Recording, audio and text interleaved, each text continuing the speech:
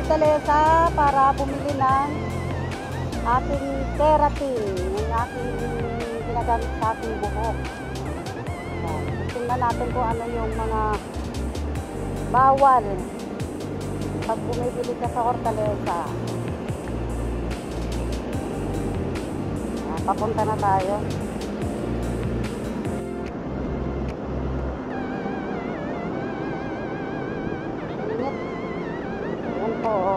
Ng overpass. Akyat baba.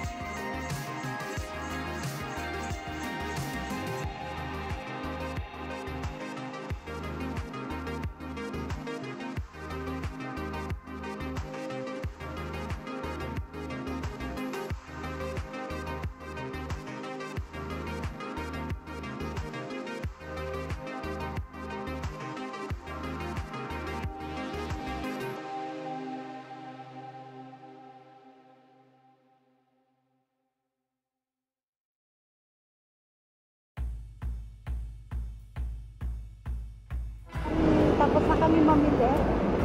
Hindi na kami mga kabebe. Nakabili na ako ng aking dapat bilhin. Yan. Sobrang init sa labas. Kami ay maglalakad pa uwi.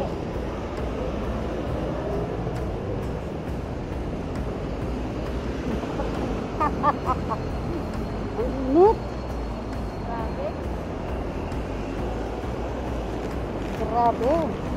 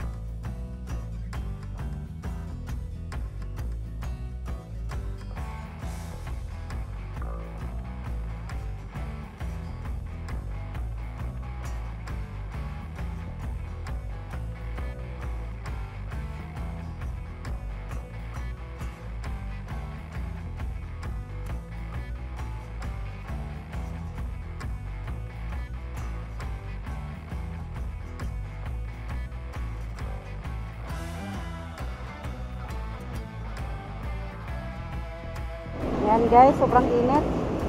Mamaya ulit. Kita tayo ulit. Kasi kami ay naglalakad. Hindi kang naluto. Turn around. Thanks for watching mga kabebe. Bye! Ayan mga kabebe. Yan, nakarating din ako sa aking bahay mga kabebe. Nakauwi na po ako. Ayan. At kanina, pumunta ako sa Hortaleza para bumili ng aking keratin. Yan, keratin sa buhok. Ayan, yung aking ginagamit kasi naubusan na ako ng keratin. Ayan, tapos ngayon, ah, madali lang naman doon bumili sa Hortaleza kasi kailangan mo, pagdating mo doon, kailangan mo lang ah, naka-face mask, tapos may face shield ka, tapos pagdating mo doon, pipirma ka lang ng pangalan mo, ah, address, signature, tapos papasok ka na. Orderin mo na kung ano gusto mong bilhin, tapos hintayin mo lang ng konti sa labas, tapos yun na, makukuha mo na yung yung binili. At ito na ngayon ay ipapakita ko sa inyo mga kabebe. Ipapakita ko sa inyo kung anong aking binili. Yan, bumili ako ng ah, solution para sa ah, solution para sa aking ano Brazilian Brazilian kasi ako ng aking buhok kasi medyo dry na siya yan So, Brazilian ko ang aking buhok. Ang aking binili ay Keratin Smoothing Solution number 2. Ayan, number 2. Ayan, nakita niyo ba? Ayan, ito lang ang aking kailangan kasi ah, last last month nag na Brazilian na rin ako ng aking buhok at meron pa ako mga tira na shampoo at conditioner. Yan, kaya ito lang ang aking kailangan. Ito lang ang aking binili sa halagang hindi ako nagkakamali mga ano 300 plus parang ganun titingnan ko lang yung resibo.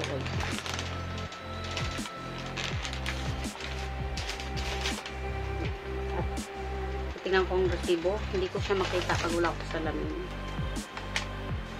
ang keratin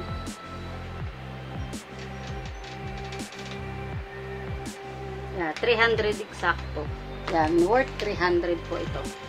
Worth 300 pesos. Yan, solution ng pang Brazilian. Yan, pang Brazilian natin. Yan, worth 300 pesos. Tapos, meron pa ako isang binili. Yung pang daily ko na ginagamit sa aking buhok. Kasi din ako, hindi na ako gumagamit ng ibang shampoo. As in, hindi na talaga ako nagsa-shampoo ng aking buhok kasi masyado nang dry. Ito ang aking ginagamit. Keratin and Collagen Hot Oil. Yan, ito lang siya. Minsan ano, keratin aloe vera. Yun. Minsan ke- keratin aloe vera. Ito lang ang aking ginagamit sa aking buhok. Yan, pang araw-araw. E- every time na maliligo ako, ito lang. Wala nang iba. Mas masyado nang nagdadry ang aking buhok. Kaya, yun, yun lang. Yun ang aking binili sa Hortaleza. Yan. Maraming salamat sa panonood, mga kabebe. Yan. At sa mga hindi pa po nakapag-subscribe dyan sa aking channel, Kabebe Mars Mix Vlog po, mag-subscribe na po kayo para palagi po kayong updated sa lahat ng aking mga i-upload na mga videos. Kaya, huwag nyo rin kalimutan na i-click ang notification bell button dyan para lagi po kayong updated sa lahat ng aking mga bagong uploads. Bye! God bless you all! Mwah, mwah, mwah!